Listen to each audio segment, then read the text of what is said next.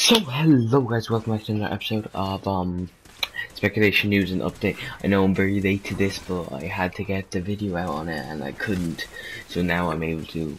So yeah, what we want to talk about is is Skyrim remastered.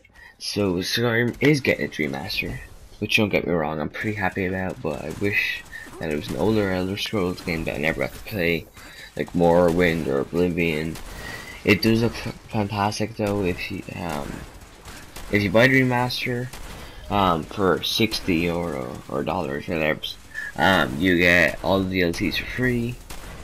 Anyway, let's talk about what we know about Dream Master. Um, the remaster is available for PS4, Xbox One, and PC. No PS3 or Xbox 360. Ah, so the specs and upgrades that we know of at the moment is remastered art and effects, volumetric god rays, dynamic dynamic depth of field, screen space reflections, new snow uh, shaders, new water shaders. You can now play mods on the consoles for it.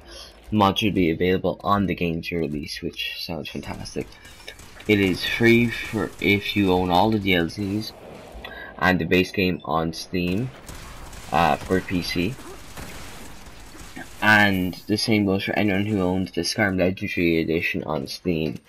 Uh, it is free for you as well.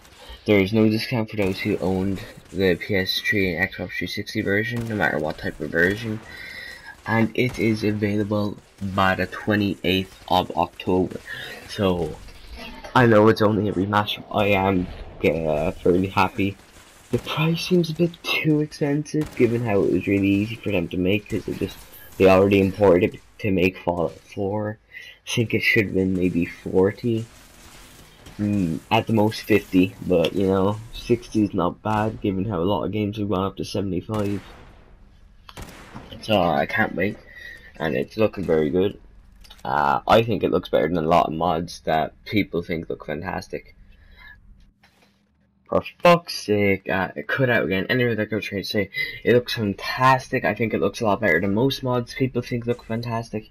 Um, so yeah, thank you guys for watching. Hit that like button, comment, subscribe, and peace.